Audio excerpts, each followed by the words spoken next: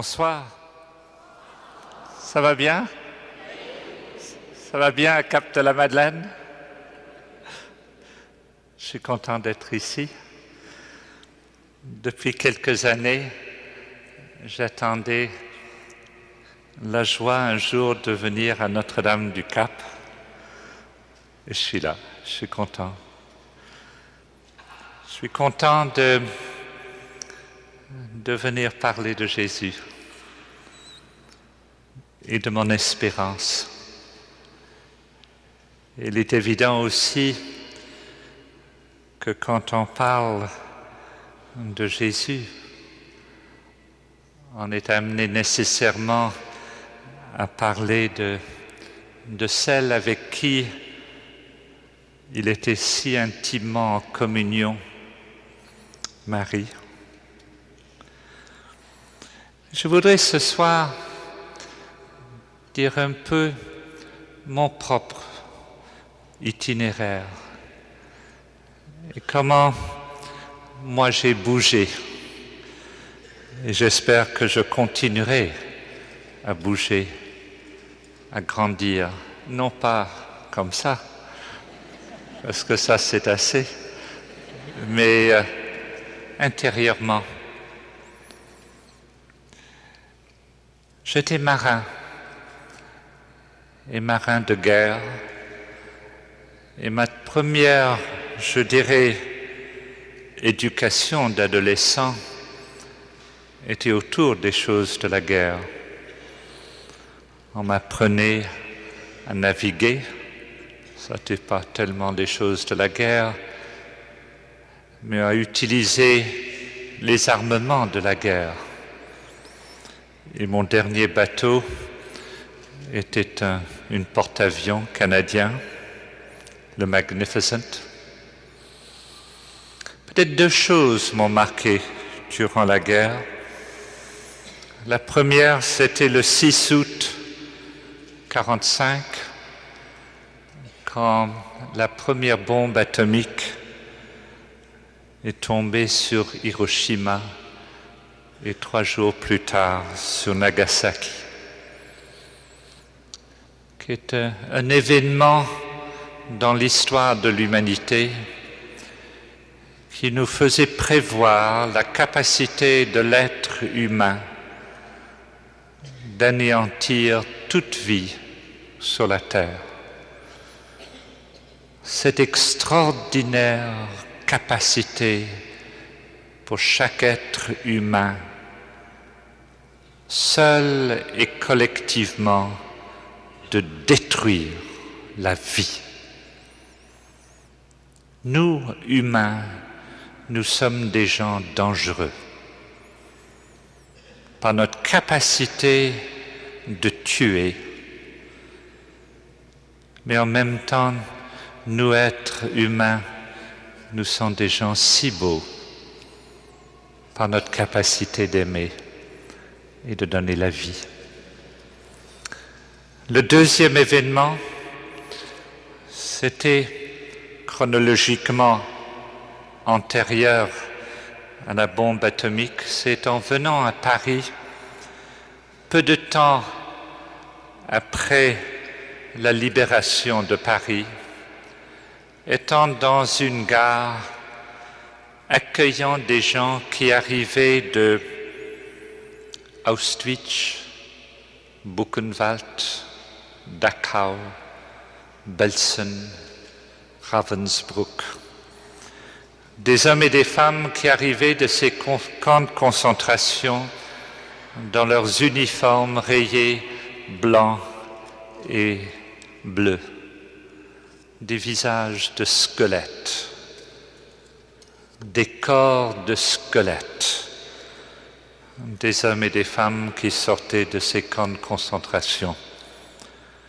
Ce que l'être humain peut faire à notre être humain. Comment l'être humain peut opprimer, torturer d'autres êtres humains? Comment nous, comme individus, nous pouvons opprimer et torturée des êtres humains? Jésus m'a demandé de quitter la marine. Un certain nombre d'événements sont arrivés dans ma vie, intérieurement et extérieurement. Et c'était comme un petit grain, petite semence est tombée dans la terre vulnérable de mon être. Le goût de Dieu, le goût des choses de Dieu, le goût de l'Évangile, la prière. Et c'est ainsi que j'ai donné ma démission de la marine en 1950 et je suis allé en France pour faire partie d'une communauté de laïcs autour d'un prêtre dominicain, un homme de sagesse théologique, mais aussi de sagesse dans la prière. Je me suis mis à son école. Il m'a aidé à me mettre à l'école de Jésus dans la prière et dans l'évangile. Puis les années ont passé, j'ai fait des études de philosophie qui aboutit finalement à commencer à enseigner la philosophie à l'Université de Toronto. Et puis en 63, je suis allé à l'invitation de ce prêtre qui m'avait accueilli en 1950 à venir visiter un petit centre pour des hommes et des femmes ayant un handicap mental. Il avait comment, comme découvert un secret, je dirais le secret de l'Évangile il voulait que je connaisse ses amis. Quel était le secret qu'il avait découvert? Il avait découvert le secret que Paul, à son tour, avait découvert quand il disait que Dieu a choisi ce qu'il y a de fou dans le monde pour confondre les sages que Dieu a choisi ce qui est de plus faible pour confondre les forts, que Dieu a choisi ce qui est de plus bas et de plus méprisé. Vous ne trouvez pas ces paroles étonnantes? Que Dieu choisit les plus fous, les plus faibles, les plus bas dans l'échelle et les plus méprisés. Quand nous, très souvent, qu'est-ce que nous voulons? Nous voulons être sages, nous voulons être forts, nous voulons être honorés. Nous voulons être en haut, pas le plus bas.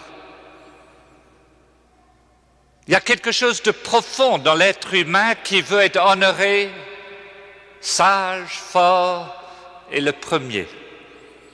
Et le prêtre avait découvert que l'Évangile s'adressait aux plus fous, aux plus faibles, aux plus méprisés et aux plus bas. Alors il voulait que je rencontre ces hommes et ces femmes dans cette petite, cette résidence. J'étais choqué, étonné, émerveillé et peureux. Des visages blessés, découvrant une difficulté dans la communication, comment communiquer avec des gens qui n'ont pas de langage, comment communiquer avec des gens qui ont des intérêts tellement autres que moi? Certaines peurs de ma propre impuissance, parce que quand on est devant des gens très blessés qui ne parlent pas, ça nous renvoie à notre propre pauvreté, notre propre impuissance. Mais en même temps, j'étais touché par deux questions. La première, une question toute simple, qui est peut-être la question fondamentale qui est dans le cœur de chacun de nous. Est-ce que tu m'aimes? Est-ce que tu m'aimes? C'est une question très simple. M'aimes-tu? M'aimes-tu? Et ce, cette question jaillissait de ces hommes et de ces femmes qui n'étaient pas capables, point de vue manuel ou intellectuel, qui avaient des capacités, mais qui n'avaient pas pu développer ces capacités. M'aimes-tu? C'est peut-être très profond dans chacun de nous cette question, est-ce que tu m'aimes?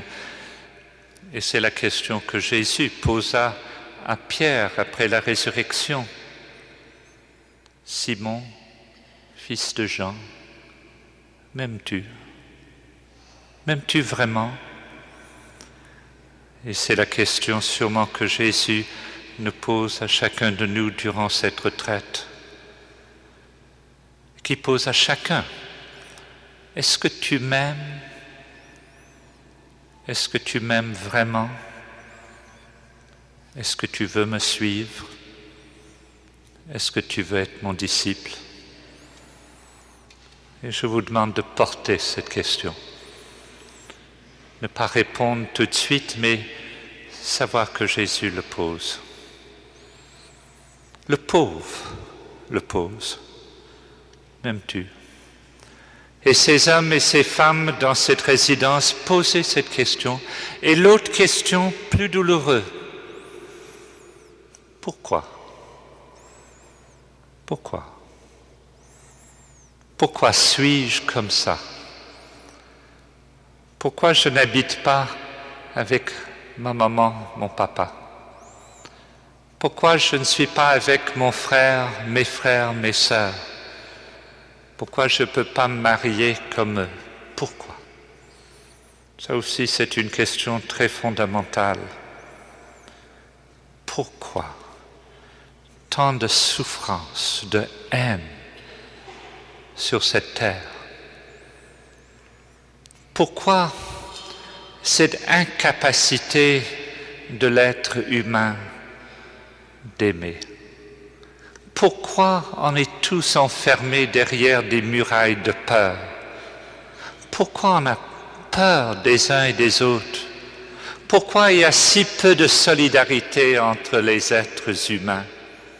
Pourquoi les groupes humains se ferment les uns sur les autres et ne se préoccupent pas des autres? Pourquoi? C'est une question toujours qui bouleverse l'être humain. C'est une question qui amène un certain nombre de personnes même à se révolter contre l'humain, contre Dieu. Pourquoi? Pourquoi tant de souffrance? C'est la question aussi de Jésus. Mon Dieu, mon Dieu, pourquoi m'as-tu abandonné? Ça reste une question très fondamentale.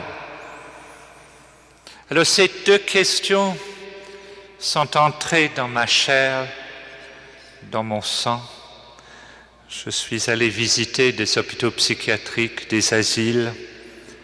À cette époque-là, pas très loin de Paris, il y avait un hôpital psychiatrique où il y avait 4000 personnes avec un handicap mental, mental maladie mentale, enfin, un monde d'immense souffrance. Alors j'ai visité des hôpitaux, des asiles, et j'ai vu un monde que J'ignorais totalement comme officier de marine, comme étudiant, comme professeur de philosophie. Je ne soupçonnais pas. Je ne soupçonnais pas l'immensité de la souffrance dans nos pays dits riches. Encore fortiori l'immensité des souffrances dans des pays dits pauvres. Et c'était dans un asile particulièrement douloureux que j'ai rencontré deux hommes. Philippe avait une encéphalite quand il était petit. Il avait perdu l'usage d'une de ses jambes et d'un de ses bras. Il parlait, Il avait une réelle déficience mentale et quand sa maman était morte, il a été mis dans cette institution sans qu'on lui demande son avis. Raphaël a à peu près le même itinéraire. Raphaël et moi, on a à peu près le même âge, quelques mois différents, mais son voyage de la vie était différent de mon voyage dans la vie. À l'âge de trois ans, il avait eu une méningite. Il a perdu l'usage de la parole. Il était d'une pauvreté, d'une certaine pauvreté physique, gauche, difficulté de marcher. Et tous les deux étaient condamnés à vie dans cet asile parce que les parents étaient morts. Alors je les ai invités tous les deux à venir habiter avec moi dans une petite maison que j'avais pu acheter dans le nord de la France, dans un petit village, une petite maison délabrée il y avait un robinet d'eau, il n'y avait pas de toilette, pas d'électricité au début. Les services sociaux n'accepteraient pas une maison comme ça aujourd'hui. Mais à ce moment-là, on était un peu plus libre et on se débrouillait. Alors nous voilà tous les trois vivant ensemble. C'est moi qui faisais la cuisine, alors on mangeait très mal. Mais on faisait tout ensemble. On allait acheter les choses dans le magasin du village, clipi-clapant. On faisait la vaisselle, on faisait la cuisine, on salissait la maison, on nettoyait la maison. Ce que trois hommes peuvent faire dans une maison. On se bagarrait, c'est évident. Quand vous avez trois personnes, on se bagarre, ça c'est humain on se pardonnait, on priait. Progressivement, j'ai découvert quelque chose. J'ai découvert qu'ils n'avaient pas tellement envie d'habiter et de vivre avec un officier de marine qui sait commander. Ça, c'est toujours le péché mignon d'un officier de marine. Il croit qu'il sait et que c'est son devoir de dire aux gens ce qu'il faut faire. Il n'avait pas envie non plus de vivre avec un ex-prof de philosophie qui croyait qu'il savait quelque chose. Ce qu'il voulait, c'était de vivre avec un ami. Vous savez ce que c'est un ami? Quelqu'un qui ne me juge pas, quelqu'un qui ne me condamne pas, quelqu'un qui n'a pas de mauvaises attentes à mon sujet ni demandant trop, ni demandant trop peu. Quelqu'un qui saisit ma blessure, mais aussi mon don. Un ami, c'est quelqu'un qui sait que je suis blessé, que j'ai une blessure dans le cœur, que je suis fragile. Mais un ami est aussi celui qui voit que j'ai un don, qui peut grandir, des potentialités. Et c'est ça ce que Raphaël et Philippe cherchaient. Vivre avec un ami. Vivre avec quelqu'un qui les aime. Vous savez ce que c'est aimer? Aimer quelqu'un, c'est pas d'abord faire des choses pour des gens, parce qu'on peut faire des choses pour des gens et les écraser et leur faire comprendre qu'ils n'ont pas de valeur. Aimer quelqu'un, c'est de lui révéler qu'il est beau. C'est très simple. Aimer quelqu'un, c'est de lui révéler qu'il a une valeur, qu'il y a une lumière qui est en lui. C'est très simple d'aimer. On n'a pas besoin d'être très capable, on n'a pas besoin d'être riche. C'est une façon de regarder, c'est une façon d'écouter, pas tout l'être, de dire je t'aime, je te reconnais, tu as une valeur, tu es belle, Je suis content d'être avec toi. Puis tu es tellement belle, il faut que tu grandisses. Il faut que tu donnes toute ta potentialité. Parce que tu es une, comme une semence. Et cette semence doit grandir. Et tu dois porter beaucoup de fruits. Parce que si tu n'existes pas et si tu ne grandis pas, le monde, l'univers va souffrir. Si tu ne donnes pas tes fruits, ta plénitude de ton être, tu vas nous manquer. Aimer, c'est quelque chose de si simple. Ça ne demande pas de capacité intellectuelle. Un enfant sait aimer. Nous, adultes, on a du mal. On est tellement égocentrique, tellement tourné sur nous-mêmes. Et peut-être trop souvent, on voit les gens à travers nos propres lunettes. Et on a du mal à voir les gens tels qu'ils sont dans leur beauté et dans leurs blessures et dans leur fragilité. Alors nous avons vécu ensemble, des gens sont venus nous aider, on a commencé à mieux manger, on a pu accueillir d'autres hommes et femmes, on a grandi. Et à travers maintenant les 27 ans de vie à l'Arche, nous sommes maintenant 400 personnes qui vivent ensemble, 200 avec un handicap mental, quelquefois avec de très lourds handicaps, et 200 hommes et femmes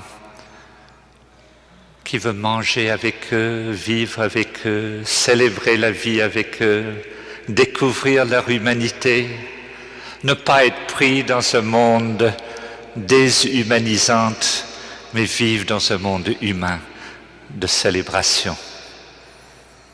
Et nous vivons pas dans une grande maison, mais dans beaucoup de petites maisons dans différents villages.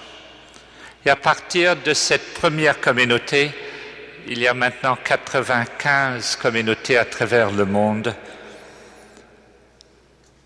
avec une communauté tout près d'ici, et sept autres communautés, huit en tout dans le Québec. Ce soir, je voudrais vous parler d'une petite jeune fille qui en réalité est morte il y a quelques mois, mais je voudrais quand même vous dire quelques mots d'elle. Quand je l'ai rencontrée au mois de septembre dernier dans notre communauté aux Philippines,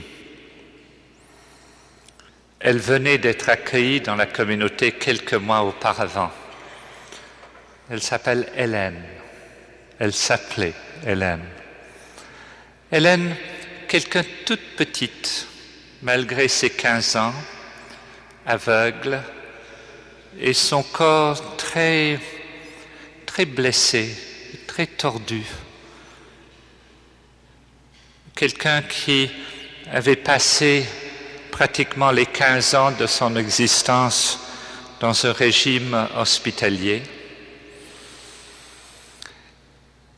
Quelqu'un, on ne peut pas imaginer quelqu'un plus pauvre, pas de langage, pas de capacité de se nourrir, incapacité de marcher, quelqu'un tout petit, tout petit, tout pauvre. Et je partageais avec Jing, le Filipino qui avait commencé notre communauté à Manille, et Keiko, Keiko, une jeune femme japonaise admirable qui avait passé cinq ans dans notre communauté en Angleterre et puis est allée aux Philippines pour commencer à créer la communauté là. Ils avaient déjà accueilli deux autres enfants, Jordan et Ray. Keiko partageait avec moi sur cette petite Hélène. Elle me disait c'est difficile, Hélène, parce qu'elle n'a aucune réaction. Elle ne témoigne ni colère, ni joie, ni goût, ni dégoût. Elle est là, sans réaction, sans émotion profonde. Alors nous avons partagé avec Keiko la difficulté de vivre avec un enfant en dépression et la souffrance d'un enfant en dépression. Et on a essayé de creuser ensemble pourquoi Hélène s'était enfermée derrière des murs.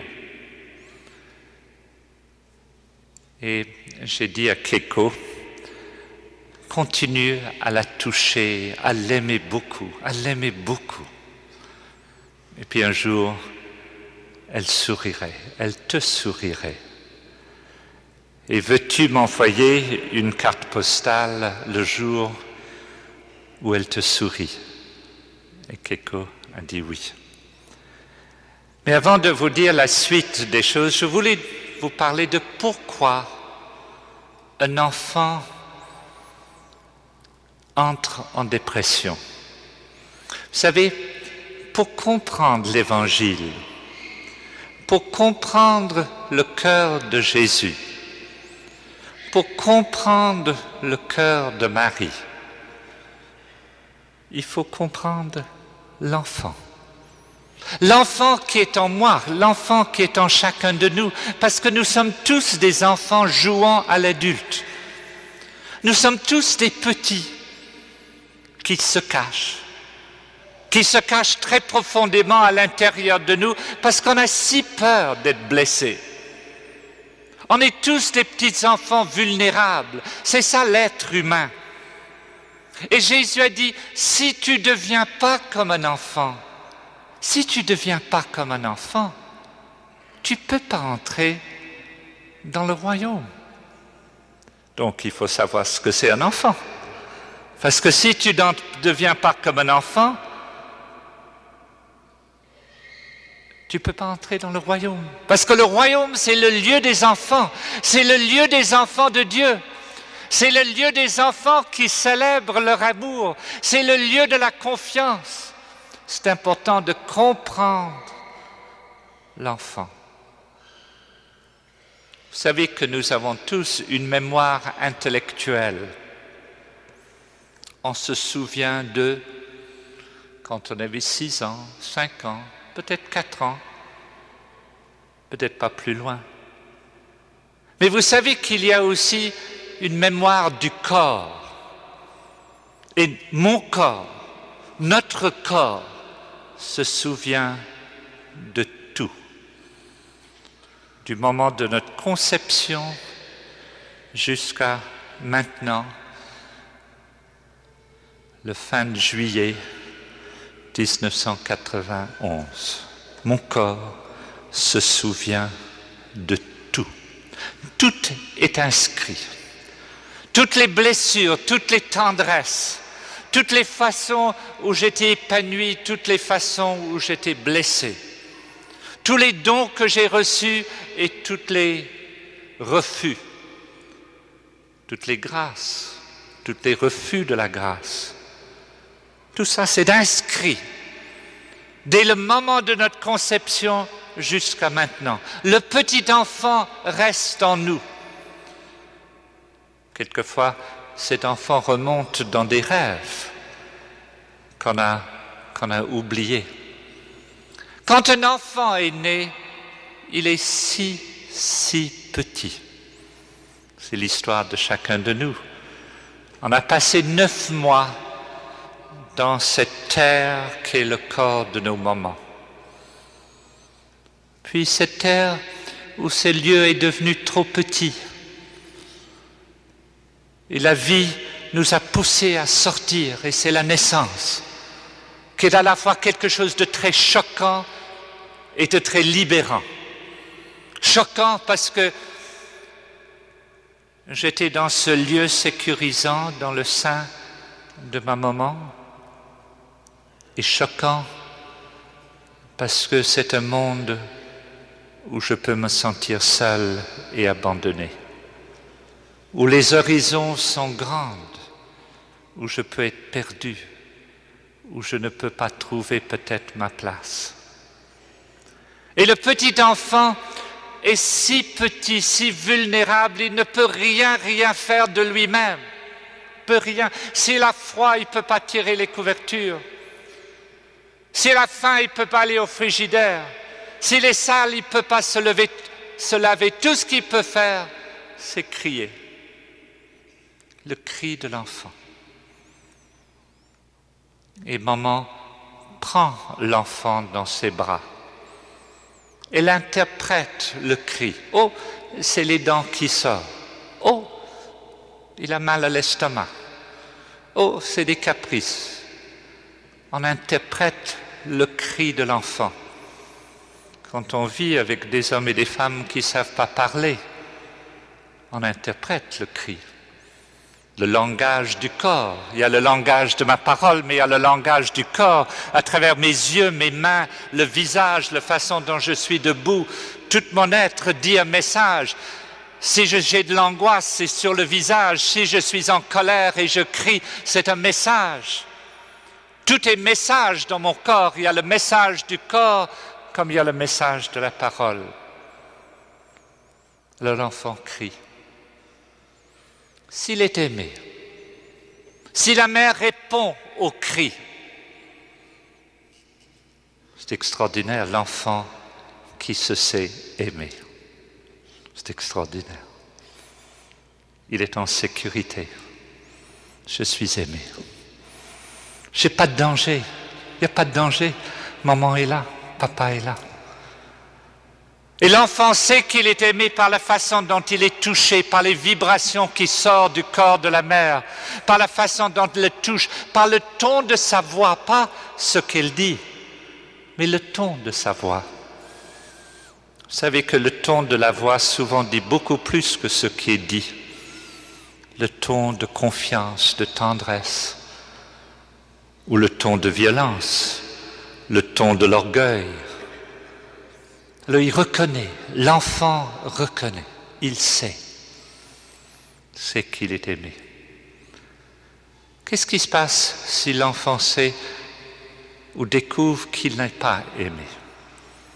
Par les vibrations qui sortent de l'enfant, de la mère, du père, par des vibrations qui disent tu me déranges, tu me déranges. Tes cris me dérangent, ton être me dérange. Je ne voulais pas de toi. Tu me déranges. Et l'enfant sent ça.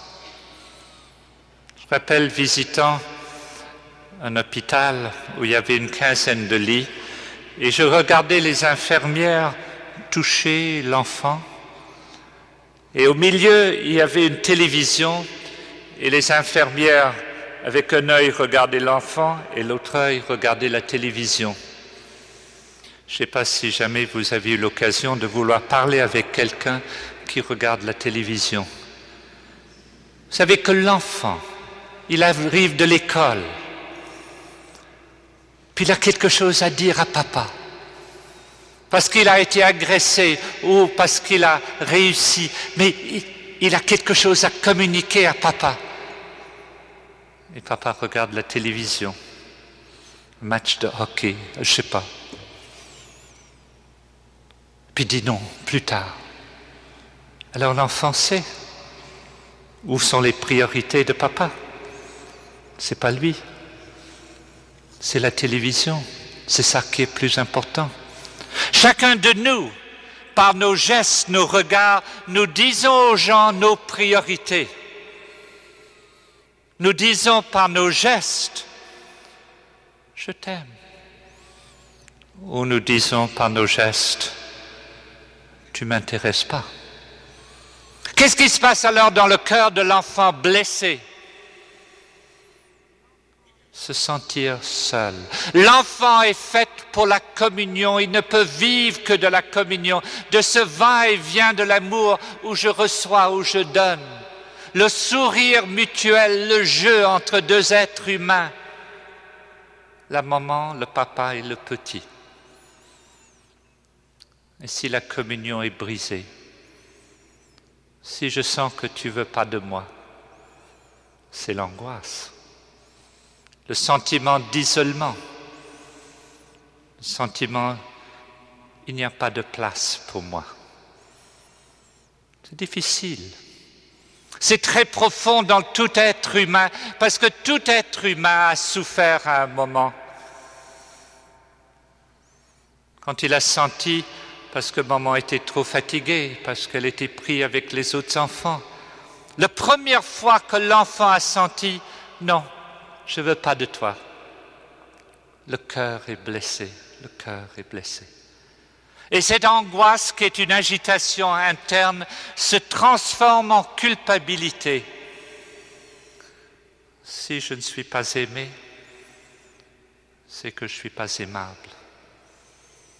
Si tu veux pas de moi, c'est qu'il y a quelque chose de mauvais en moi. Je ne suis pas bon. Je n'ai pas de valeur. Il y a quelque chose qui va mal en moi. Je n'ai pas de place. C'est difficile pour un enfant.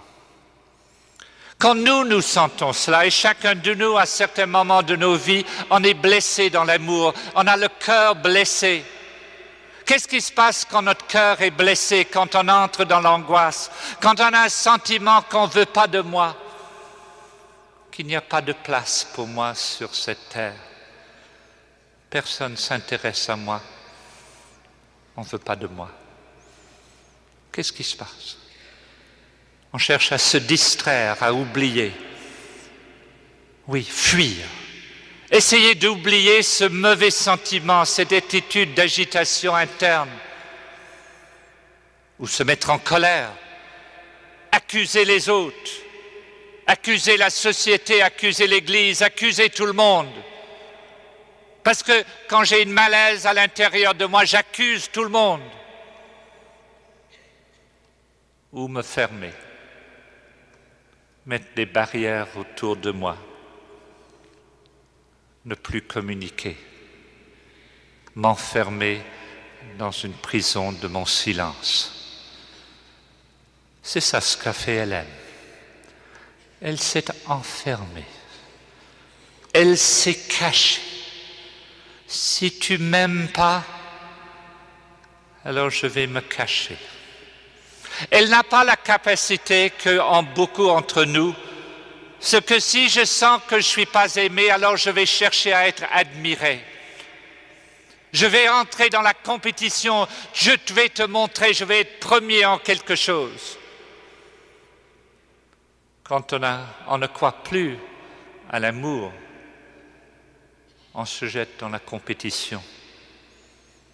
L'enfant ne peut pas. Quand l'enfant est très blessé, il peut partir dans des rêves. C'est merveilleux, les rêves. Rêver. Quand on a l'impression qu'on n'est pas aimé, on peut rêver d'être aimé. C'est ça l'imaginaire, c'est beau. Quand ma vie est un échec, je peux rêver que je suis un succès. C'est beau, mais c'est dangereux. Je m'enferme dans des rêves. Et si je m'enferme trop dans des rêves, je peux me bloquer dans ces rêves. L'enfant, il peut partir dans des rêves où il peut se fermer, mettre un mur autour de son cœur, dire plus maintenant j'entrerai en relation avec quelqu'un. L'amour est trop dangereux. L'amour est trop dangereux. Alors c'est ça, Hélène. Elle s'est enfermée, emmurée. Et puis, au mois de décembre, j'ai reçu une petite carte postale de Keiko. Elle a dit, aujourd'hui, Hélène m'a souri. Elle m'a souri. Elle a osé sortir la tête de cette prison de peur. Elle a goûté la relation, elle a goûté l'amour. Elle a trouvé que l'amour a un bon goût mais laisser retirer tout de suite à l'intérieur d'elle. C'est comme ça pour nous tous, parce que auprès de qui est-ce que je vais ouvrir mon cœur quand je suis blessé? Seulement avec quelqu'un qui a confiance en qui j'ai confiance. Confiance que tu me jugeras pas et que tu me condamneras pas. Parce que quand le cœur est blessé, il y a aussi un sentiment de culpabilité, un pressentiment que oui, je ne suis pas bon, j'ai mal fait, je sens mauvais, personne ne peut m'aimer. Et on est dans un monde où tant de gens se sentent condamnés, culpabilisés. Alors j'ose m'ouvrir seulement si j'ai confiance en quelqu'un. Beaucoup de jeunes aujourd'hui sont enfermés. Ils ne peuvent pas parler, peuvent pas parler, parce qu'ils ont peur des soi-disant adultes qui vont les condamner, les juger. Ils ne voient pas des gens, ils ne trouvent pas des gens qui disent j'ai confiance en toi, dans ce que tu vis, même si c'est douloureux, parce que même à travers toutes tes souffrances, derrière toutes tes souffrances, il y a une lumière qui est en toi. Et c'est ça ce que je vois. Tu es belle. Alors Hélène, à un moment, a eu confiance par la façon dont Keiko a touché son corps, l'a regardé, l'a touché, chanté, et progressivement, elle a ouvert son cœur. Quelques mois plus tard, elle est morte dans une situation douloureuse à travers une crise où elle s'est étouffée. Elle est morte avec Jing courant à l'hôpital avec Hélène dans ses bras et tous les chauffeurs de taxi refusant de la prendre parce qu'ils ne voulaient pas qu'un enfant meure dans leur voiture. Alors c'était particulièrement douloureux. Et je vous parlais d'Hélène. Parce que Hélène, c'est le cœur de beaucoup d'hommes, de beaucoup de femmes avec un handicap. C'est même le cœur de beaucoup de mamans et de beaucoup de papas, le cœur blessé parce que leur enfant a un handicap. C'est aussi le cœur de beaucoup de jeunes qui se sentent condamnés, rejetés. C'est le cœur de beaucoup d'hommes et de femmes en prison. Je rappelle cet homme en prison à Alabama, dans le sud des États-Unis, qui a dit que quand il avait huit ans, sa mère lui a dit, si le contraceptif avait marché, tu ne serais pas là aujourd'hui. Le cœur de beaucoup d'enfants sont blessés. Peut-être le cœur de chacun de nous est blessé. Chacun de nous a un niveau plus profond ou moins profond. Mais chacun de nous, il y a une blessure dans le cœur. Qu'on cherche à oublier parce que, oui, c'est une malaise, un sentiment de douleur, d'angoisse, sentiment de culpabilité. Je ne peux pas vivre avec ce sentiment de culpabilité. Je dois prouver que je suis bien. Et souvent, l'homme ou la femme qui a été dévalorisé peut grandir et être un instrument de dévalorisation pour les autres. Ce n'est pas parce qu'on a souffert nécessairement qu'on va devenir compatissant. Mais nous avons tous plus ou moins ce cœur blessé, fragilisé, vulnérable, aucun de nous nous voulons souffrir. Nous avons terriblement peur de souffrir. Nous avons peur de souffrir. Peur de souffrir. La souffrance physique, oui, c'est difficile à porter, à supporter. Mais la souffrance du cœur, cette angoisse constante de savoir si j'ai une place sur cette terre, si quelqu'un peut m'aimer pour moi. Vous savez que le mystère de Jésus, le Verbe qui s'est fait chair, que le Verbe s'est fait chair, c'est-à-dire qu'il a pris un corps humain. Il s'est fait chair, je dirais, pour répondre à cette question, pour dire à chacun de nous, je t'aime, tel que tu es, tel que tu es, aujourd'hui. Pas tel que tu aurais voulu être, pas tel que tes parents auraient voulu que tu sois, pas tel que vos sociétés désirent que tu sois. Non, non, tel que tu es. Il y a quelques années, j'ai reçu une très belle lettre d'une jeune femme qui était d'ailleurs de Moscou. Elle m'a dit ceci. Elle m'a raconté ses fragilités ses blessures. Elle m'a dit j'étais le troisième enfant et le dernier dans notre famille. Mes frères, mon frère, ma sœur aînée, brillants. Et moi j'avais l'impression d'être une erreur. J'avais l'impression que maman et papa ne m'aimaient pas et qu'ils ne voulaient pas de moi. Et je me sentais mis de côté.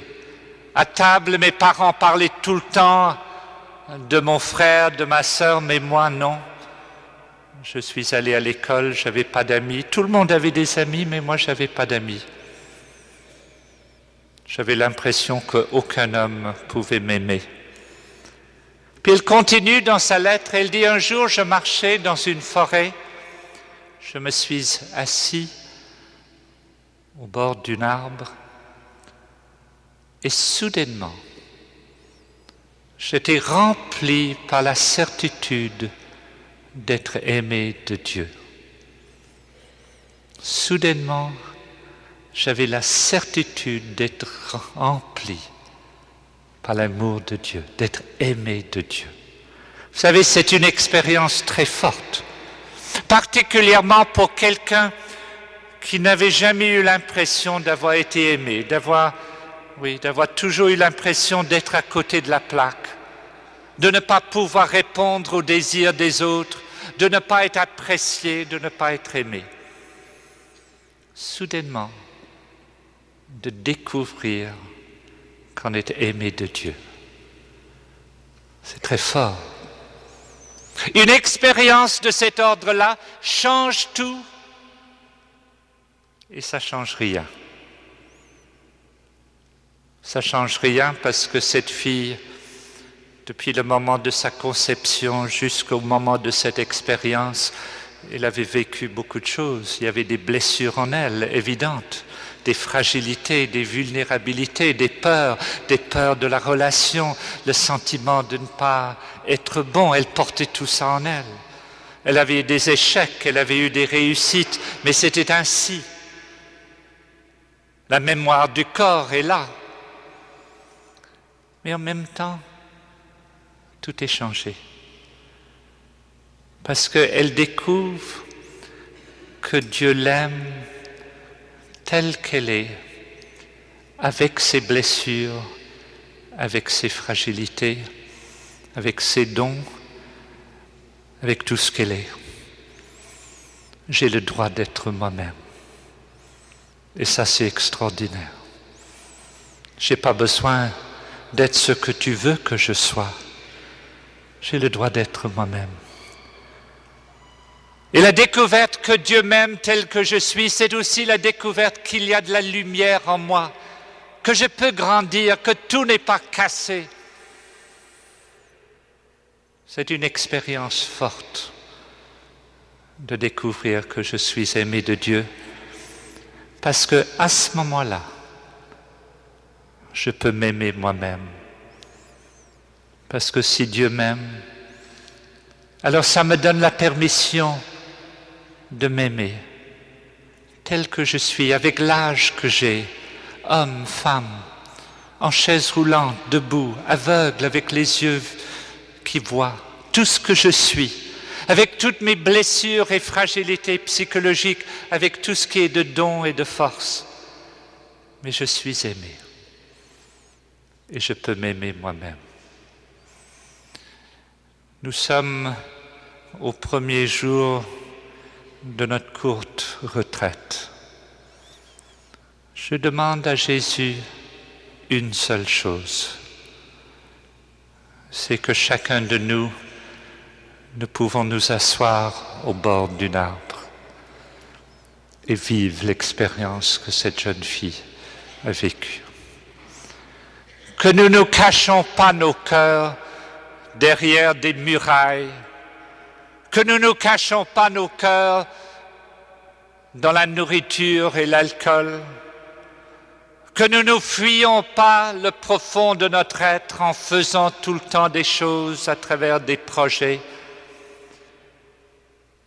que nous puissions nous arrêter. C'est ça une retraite. S'arrêter. Et laisser Dieu dire la seule chose que nous voulons entendre, que nous avons besoin d'entendre. Tu es mon fils, ma fille bien-aimée, en qui j'ai mis toute ma joie. Tu es belle, tu as une valeur. C'est important que tu vis. Et Dieu nous révélera, je suis là pour faire toutes choses nouvelles, de faire quelque chose de nouveau. Tu t'es enfermé derrière les murailles comme Hélène. N'aie pas peur. Tu peux sortir. Parce que je ne te juge pas et je ne te condamne pas. Au contraire, je suis venu pour révéler à ton cœur ta beauté. Je suis venu pour révéler ta mission. Je suis venu pour te révéler que tu es appelé à porter beaucoup de fruits. Alors ma prière, c'est que chacun de nous, durant cette courte retraite, nous pouvons prendre un peu de temps. Je vous demande dans ces quatre jours d'essayer de, t'arrêter, de ne pas courir tout le temps, faire des choses, parler tout le temps, mais de prendre quelques moments, peut-être tôt le matin, peut-être le soir, juste pour t'arrêter s'asseoir au bord d'un arbre et là d'ouvrir ton cœur à Dieu. Il est peut-être important d'écouter ma parole, mais ce n'est pas ça qui est le plus important.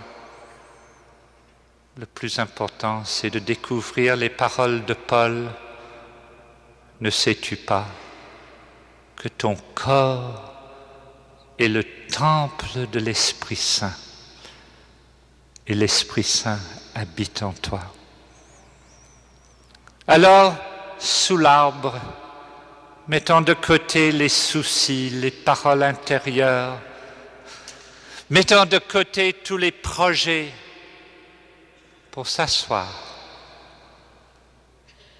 et ouvrir notre cœur à Dieu pour que nous puissions entendre cette parole qui fera toute chose nouvelle, qui changera tout, parce que Dieu veut faire de nos vies quelque chose de nouveau. Entendre Jésus qui dit, tu es mon fils, tu es ma fille bien-aimée, en qui j'ai mis toute ma joie. Ne crains pas, je t'ai racheté, Je t'ai appelé par ton nom et tu es à moi. Tu es précieux à mes yeux et je t'aime. Ne crains pas, je suis avec toi.